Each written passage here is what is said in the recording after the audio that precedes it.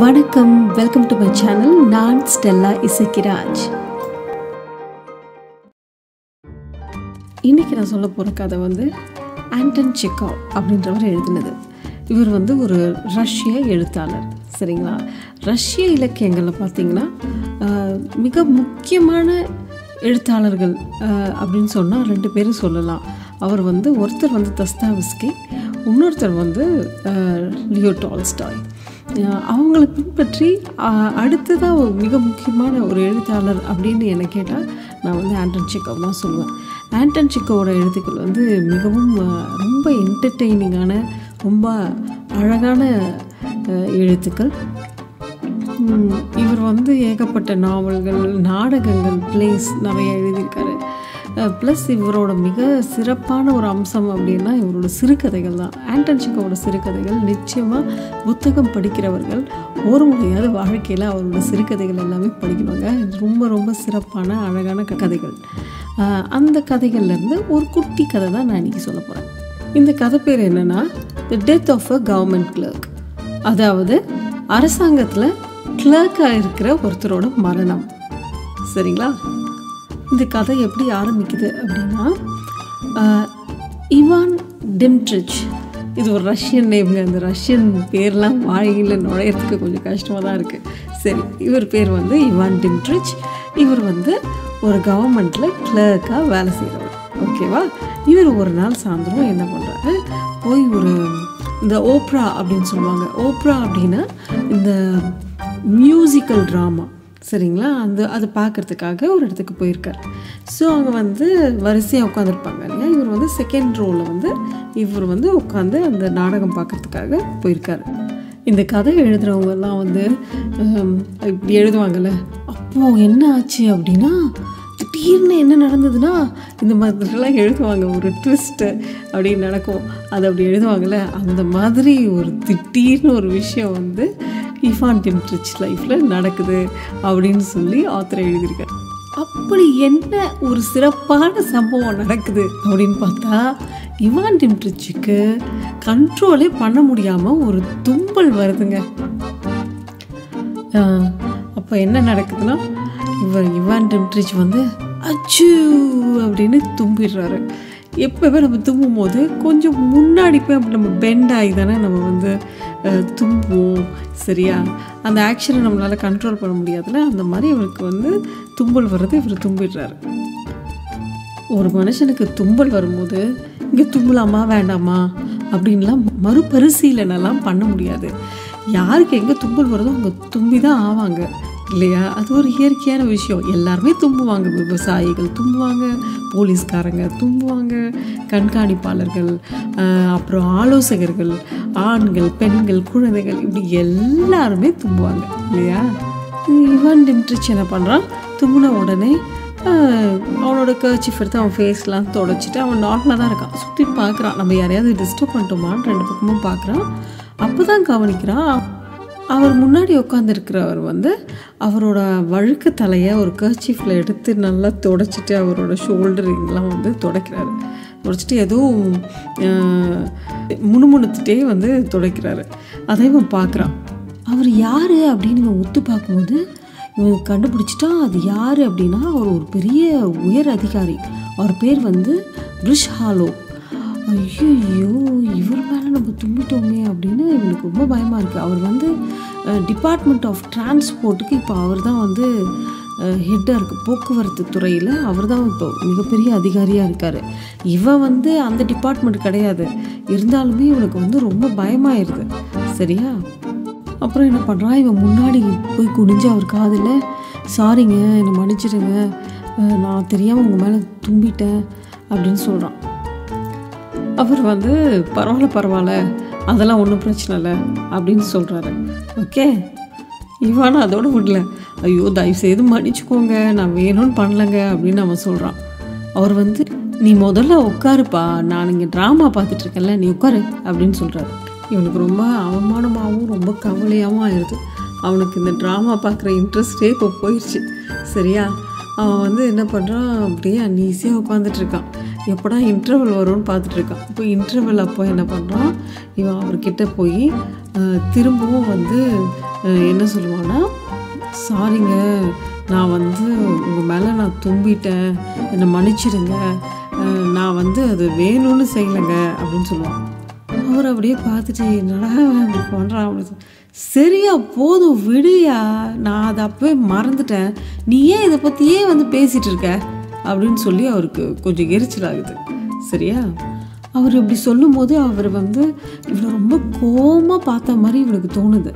அப்போ இவன் என்ன நினைக்கிறான்னா சரி இந்த ஜென்ரல் வந்து இப்போ நம்மக்கிட்ட அவர் பேச அவருக்கு பிடிக்கல. ஆனால் இதை நம்ம இப்படியே விட முடியாது. நான் இவர்கிட்ட போய் நான் வந்து நான் வேணும்னு செய்யலை அப்படின்றத அவருக்கு நான் புரிய வைக்கணும். தும்பல் என்னங்க பண்ணுறது அது வந்து இயற்கையின் விதி. அது இயற்கையாக மனுஷனுக்கு வர்றது. நான் வேணும்னேவா அவர் மேலே எச்சில் படுற மாதிரி இந்த மாதிரி தும்பிட்டேன். இல்லை இல்லை நான் வந்து அது இயற்கையாக நடந்தது. அப்படி ஆகிப்போச்சு அதனால் இதை அவருக்கு போய் நான் சொல்லணும். எப்படியாவது அவரை புரிய வைக்கணும். அவர் இப்போ வந்து அதை பேச நினைக்கலன்னா கூட அப்புறமா அவர் அதை யோசித்து அதை அவர் புரிஞ்சுப்பார். அப்படின்லாம் இவன் நினைக்கிறான். அப்புறம் இவன் வீட்டுக்கு போகிறான் வீட்டுக்கு போய் அவன் ஒய்ஃப் கிட்ட நடந்ததெல்லாம் சொல்கிறான் இதெல்லாம் கேட்டோடனே அவன் ஒய்ஃப்க்கு ரொம்ப பயமாயிருச்சு. ஐயோ என்ன ஆகுமோ? இப்போ என்ன பண்ணுறது அப்படியே அப்புறம் அவள் கேட்குறா அப்புறம் இவன் சொல்கிறான் இந்த மாதிரி அவர் என்னோட டிபார்ட்மெண்ட் இல்லை அவர் வேறு டிபார்ட்மெண்ட்டோட ஹெட்டு தான் அப்படின்னோட தான் அவளுக்கு கொஞ்சம் நிம்மதியாக இருக்குது ஆனால் அவள் சொல்கிறான் ஆனால் நீங்கள் எப்படியும் அவர்கிட்ட போய் நேரில் பார்த்து திரும்ப நீங்கள் மன்னிப்பு கேட்டுருங்க அப்படின்னு இவன் சொல்கிறான் ஓகே அவன் சொல்கிறான் இல்லைம்மா நான் மன்னிப்பு கேட்டேன். ஆனால் அவர் அதை கரெக்டாக எடுத்துக்கிட்ட மாதிரியே தெரில அவர் பேசுனது எதுவுமே வந்து அவர் புரிஞ்சுக்கிட்ட மாதிரியே எனக்கு தெரியல அப்படின்னு இவன் சொல்கிறான் சரியா? அடுத்த நாள். புது யூனிஃபார்ம்லாம் போட்டுட்டு நல்லா அழகாக ஷார்ட்டாக ஹேர்லாம் கட் பண்ணி நீட்டாக ட்ரெஸ் பண்ணிவிட்டு அந்த ஜென்ரலோட ஆஃபீஸ்க்கே போகிறான் சரியா? அங்கே போனால் ஏகப்பட்ட பேர் இந்த பெட்டிஷன்லாம் கொடுக்கறதுக்காக வெயிட் பண்ணிகிட்ருக்காங்க அப்போ இவனோட டேர்ன் வருது அவரை பார்க்குறதுக்கு. அப்போ இவன் வந்து அவர் முன்னாடி போய் சொல்கிறான் நேற்று உங்களுக்கு ஞாபகம் இருக்குங்களா? நேற்று வந்து நீங்கள் அந்த இதுக்காக வந்திருந்தீங்களே. அப்போ நான் கூட உங்கள் மேலே தும்பிட்டனே. உங்கள் மேலே ஃபுல்லாக என்னோடய எச்சிலெல்லாம் பட்டுச்சு. ஞாபகம் இருக்குங்களான்னு உடனே இவருக்கு செம்ம கோவம் வருது அந்த ஜென்ரலுக்கு. என்னையா பைத்தியம் மாதிரி பேசிகிட்டு இருக்க?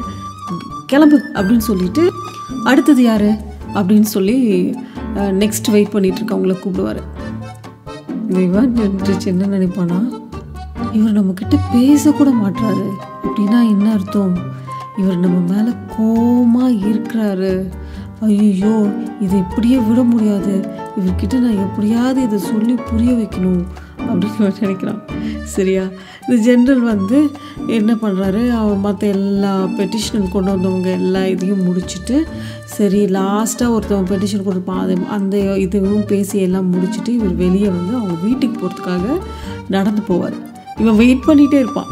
வெயிட் பண்ணிகிட்டே இருந்து அவர் போகும்போது அவர் வீட்டுக்கு போகும்போது இவன் பின்னாடியே போய் சார் சார் நேற்று என்ன நடந்ததுன்னு கொஞ்சம் கேளுங்களேன். நான் வந்து வேணும்னு அது பண்ணல சார் தும்பல் வந்து இயற்கையாக எல்லாருக்கும் வர்றது தானே. அந்த மாதிரி தான் சார் எனக்கு வந்து நேற்று அப்படி ஆகிப்போச்சு நீங்கள் என்ன நம்பணும் சார் நான் வந்து எந்த தப்புமே செய்யலை. வேணும்லாம் உங்கள் மேலே நான் தும்பலை சார் அப்படின்னு சொல்லுவோம் அப்போ அந்த ஜென்ரல் வந்து அப்படியே பார்த்துட்டு நீ என்ன நக்கல் பண்ணுறியா நீ என்ன கிண்டல் பண்ணுறியா என்ன? அப்படின்னு சொல்லிட்டு கோபமாக என்ன பண்ணுவார்? போய் அவர் வீட்டுக்கு அதுவும் மூடிடுவார். சரியா? இவர் வேறு இப்படி சொல்லிட்டாரா? இப்போ இவன் டீம் ட்ரிச் என்ன நினைக்கிறானா? ஐயோ இவர் ஏன் நம்மளை வந்து கிண்டல் பண்ணுறியான்னு கேட்டார். நான் எங்கே கிண்டல் பண்ணேன்? அந்த மாதிரி நான் எதுவுமே பண்ணலையே. இந்த ஜென்ரலுக்கு ஏன் வந்து புரியவே மாட்டேங்குது? நான் வந்து அவர்கிட்ட வந்து மன்னிப்பு கேட்க தான் நான் வந்தேன். இப்போ எப்படி தான் இவர்கிட்ட நான் சொல்கிறது பேசாமல் இவருக்கு ஒரு லெட்டராவது எழுதலாமா? நேரில் போகக்கூடாது பேசாமல் லெட்டர் எழுதலாமா? அப்படிலாம் இவன் யோசிக்கிறான். அப்புறம் இவனுக்கு தோணு தோணுது இல்லை இல்லை லெட்டர்லாம் எழுத வேண்டாம் நம்ம நேர்லேயே போய் அவர்கிட்ட நம்ம நாளைக்கு பேசலாம் அப்படின்னு சொல்லிட்டு அடுத்த நாள் வந்து திரும்பவும் போகிறான் திரும்பவும் போயிட்டு அவர் ஆஃபீஸில் சார். ரொம்ப சாரி சார். நேற்றே வந்து நான் உங்களை ரொம்ப டிஸ்டர்ப் பண்ணிட்டேன். ரொம்ப மன்னிச்சிடுங்க. அதுவும் இல்லாமல் நீங்கள் வேற நான் உங்களை வந்து கிண்டல் பண்ணுறேன் அப்படின்லாம் நீங்கள் வந்து நினச்சிக்கிட்டீங்க அப்படி நீங்கள் சொன்னீங்க. ஆனால் அப்படிலாம் எதுவுமே இல்லை சார். நான் வந்து உங்கள் மேலே தும்பிட்டேன்ல. அதுக்கு மன்னிப்பு கேட்க தான் சார் நான் வந்து வந்தேன். என் கனவுல கூட நான் உங்களை கிண்டல் பண்ணுறத பண்ண பண்ணணும்னு நான் நினைக்க மாட்டேன் சார். அவ்வளோ தைரியம் எனக்கு கிடையாது சார். நான் வந்து உங்களை வந்து ரொம்ப மதிக்கிறேன் சார். நீங்கள் எவ்வளோ பெரிய ஆள். நான் உங்களை ரொம்ப மதிக்கிறேன் சார். மன்னிப்பு கேட்க தான் சார் நான் வந்தேன் அப்படின்னு சொல்கிறான் அது ஜென்ரலுக்கு தாங்க முடியல. செம கோவம் வருது அவருக்கு. அவர் வந்து வெளியே போ அப்படின்னு சொல்கிறாரு அப்போ அப்படியே இவனுக்கு உடம்பெல்லாம் நடுங்குது. அவர் கத்தி சத்தமாக சொன்னோடனே அப்படியே பார்த்துட்ருக்கான். வெளியே போ அப்படின்னு சொல்லிடுறாரு. சரியா? அப்போ வந்து இவன் வந்து என்ன பண்ணுறான் அப்படியே அந்த சத்தத்துலேயே பயந்து அப்படியே இந்த ரூமை விட்டு வெளியே வந்து அந்த பில்டிங்கை விட்டு வெளியே வந்து அப்படியே தட்டு தடுமாறி அவன் வீட்டுக்கு போகிறான் வீட்டுக்கு போய் அப்படியே அவனுக்கு வந்து என்ன பண்ணுறதுனே தெரியல. அப்படியே வீட்டுக்கு போய் அந்த அந்த சோஃபாவில் அப்படியே அந்த யூனிஃபார்மை கூட மாற்றாமல் அப்படியே படுத்து அப்படியே அவன் செத்து போயிடுறான் அப்படிதான் இந்த கதை முடியுது. நல்லா மன்னிப்பு கேட்டான் இவான் விட்டுருச்சு சரி இந்த கதை உங்களுக்கு பிடிச்சிருந்ததுன்னா லைக் பண்ணுங்கள் ஷேர் பண்ணுங்கள் தமிழ் நியூசிலாண்ட் சேனலை சப்ஸ்கிரைப் பண்ணுங்கள் பாய்